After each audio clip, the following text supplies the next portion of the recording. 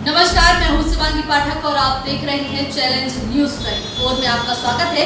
आइए नज़र डालते हैं आज की खास खबरों पर। समाजवादी पार्टी की एक बैठक ऋषभ सोनी के निज निवास पर आयोजित हुई, जहाँ लोहिया वाहिनी के जिलाध्यक्ष राकेश श्रीवास्तव ने लोहिया वाहिनी के पदाधिकारियों का गठन किया, जहाँ ऋषभ सोनी को मऊरानीपुर नगर का नगर अध्यक्ष एवं नकुल यादव को मऊरानीपुर ब्लॉक अध्यक्ष देवीदास कुशवाहा को टोड़ी फतेहपुर का नगर अध्यक्ष मंगल सिंह यादव को विधानसभा उपाध्यक्ष सचिव राजपूत को सचिंद्र राजपूत को मऊ ब्लॉक उपाध्यक्ष हरीशचंद्र राजा यादव को मऊ ब्लॉक महासचिव पत्र देकर मनोनीत किया गया। राकेश श्रीवास ने कहा, वर्तमान में भाजपा सरकार में सबसे ज़्यादा युवा परेशान है। प्रदेश में लूट, डकैती, मर्डर, अपहरण जैसी घटनाएँ लगातार हो रही हैं। प्रदेश की जनता भयभीत है।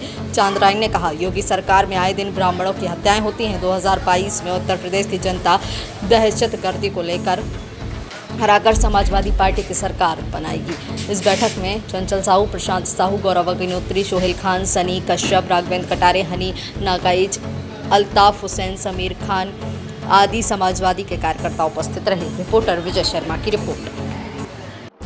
नमस्कार, मैं हूँ शिवांगी पाठक। अगर आपको ये वीडियो पसंद आए तो लाइक और शेयर करना ना भूलें। और हाँ हमारे चैनल को फॉलो और सब्सक्राइब ज़रूर करिएगा ताकि देश और दुनिया की किसी भी खबर को आप मिस ना कर सकें। और जुड़े रहिए हमारे चैनल चैलेंज न्यूज़ 24 के